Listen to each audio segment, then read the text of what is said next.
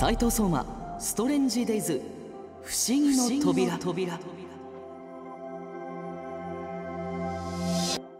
皆さんこんにちは斉藤相馬です。このコンテンツは文化放送超 A&G プラスでお送りしている番組斉藤相馬ストレンジデイズのスピンオフコンテンツとなり YouTube の虹スタチャンネル限定でお届けする特別版です。このチャンネルでは皆さん初めましてですねどうぞよろしくお願いいたします。このコンテンツでは毎週一つのキーワードやタイトルについてお話ししていこうと思います。では今回のテーマを発表しましょう。初回のテーマはロマンです。はい。あの僕ロマンがいいんじゃないでしょうかって言っててあの特に最初調べてなかったんですけどここにあの浅野さん書いてくださってますけども。あ作家の浅野さんが書いてくださってますが。もともとはまあ物語とかね小説という意味で使われていたんですけれども、まあ、今はもう少し幅広く使われていて、まあ、夢とかねまあ、そのいわゆるそのロマンティシズム的なことで使われることが多いみたいですけども、まあ、日本だとあのーまあ、そのロマンにローマンっていうね漢字当てたりしますけれども、まあ、あれはあの夏目漱石先生があの考案したということでなんかもうそのエピソード自体にもすごくロマンがあるなと思うんですけどやっぱりその例えば自由とかそれまで日本にはなかった概念を翻訳してさらに漢字を当てるっていうそのなんていうか文化を想像するっていうことはやっぱりすごくそれはロマンがあるというかなんかこれからそのねあの西洋に対してこう日本という一つの国がどういうふうにこう、ね、肩を並べて、うん、やっていくのかっていうところにそのこれから自分たちが新しい時代を作っていくんだみたいなまだ見ぬものへ向かっていくフロンティアスピリットというかみたいなものにもやっぱりすごいロマンがあるなあなんて思いますし、まあ、その日本のちょっと後で言うと、まあ、やっぱ大正ロマンとかですかね。もう僕本当に今あの令和に留学してると思ってるんで 本当は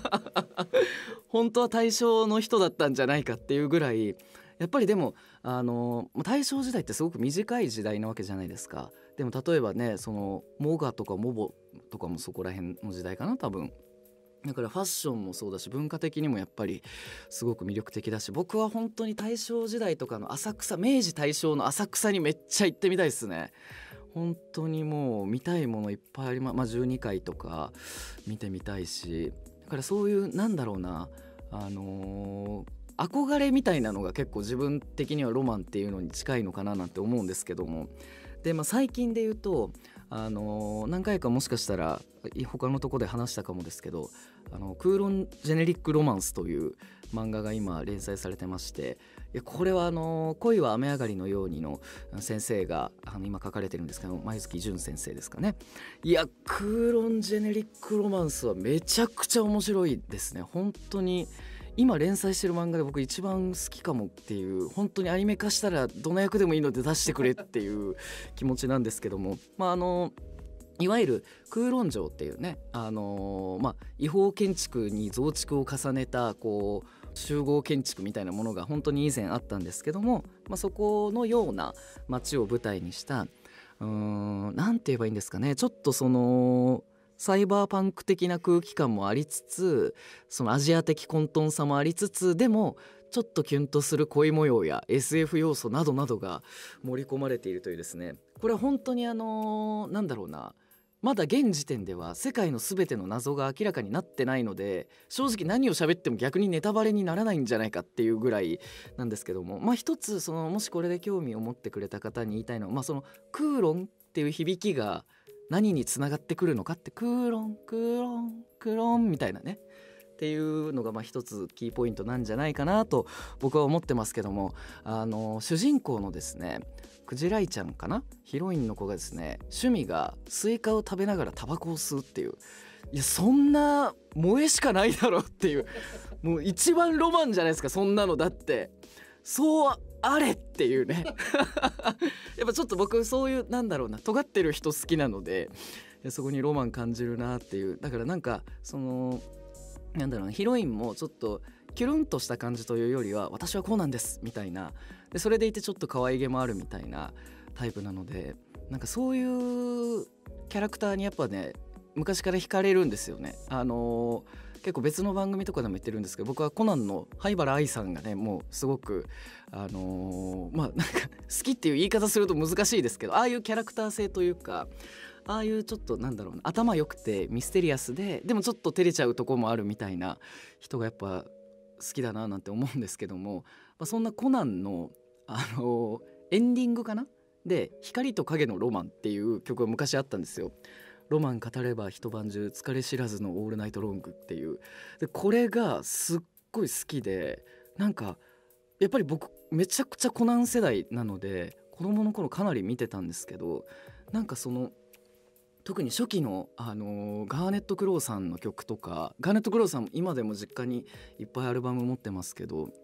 なんかそういうなんだろうなその光と影のロマンとかはちょっと、まあ、大人な歌詞なんですけど今から考えるととかも好きだったしあとそのガーネット・クローさんの「夏の幻」っていう曲が、まあ、すごい有名だと思うんですけどなぜかその時僕、あのー、ドラクエ3を、えーと、ゲームボーイカラーでずっとやってたんですよその夏というか。だからその夏の幻を聞くとなぜかドラクエ3をすごい思い出したみたいな、まあ、そういうね記憶のリンクみたいなあるじゃないですか。そういうなんかねなんだろうな。やっぱそのちょっと懐かしさとか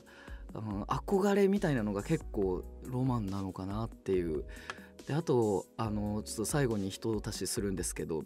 伊坂幸太郎さんの「あの陽気なギャングが地球を回す」という小説でキャラクターの一人が「ロマンはどこだ?」っていうそれが決め台詞になってるんですけどやっぱだからそういうものなんじゃないかなっていう探しちゃうものというかないけどあるみたいなのがロマンなのかななんて思いますね。いや意外といけるもんですね。えじゃあ最後になりますけども、え今日のテーマについてまとめたいと思います、え毎回ね一言でまとめるということなので、えー、まとめたいと思います。斉藤相馬的ロマンとは蜃気楼のようなもの。ね、その実態があるようでないけどやっぱりあるんじゃないかと思ってしまうもの。それがロマンなんじゃないかなと思います。以上今日の不思議の扉はロマンでした。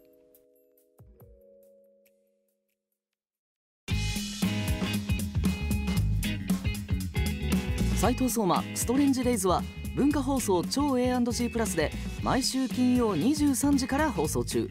あなたの気になることや話してほしいことを募集しているメールアドレスは相馬アットマーク JOQR.net です。たくさんのメールお待ちしています。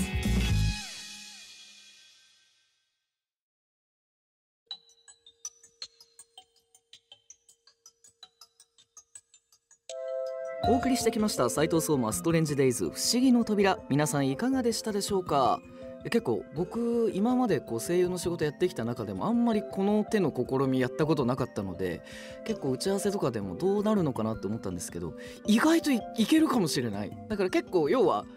俺のオタクな部分を出していけばいいってことですよね多分ね。そのあれもこれもみたいなね。いやでもこれ楽しいな。あのー、なんかまたね本編でも気になることいっぱい話してるんですけどこちらでもまたちょっと違った形でそれをお届けできるんじゃないかなと思うので、えー、ぜひ皆さんも最近気になることがありましたら番組の方にメールしてくださいませ。